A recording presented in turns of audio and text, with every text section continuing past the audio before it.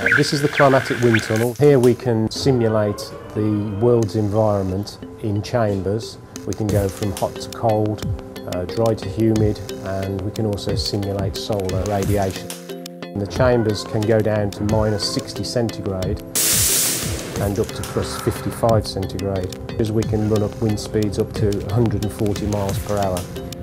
Seven days a week, 12 vehicles per day, 400 channels of information off the vehicle, measure temperatures, voltages, currents, pressures, the extremes of temperature. Everybody has to wear uh, protective arctic clothing, including boots and even face masks. And in the hot, solar radiation masks, sunglasses and hats. Every Land Rover and Range Rover comes to these facilities to do thousands of hours testing in the most extreme conditions.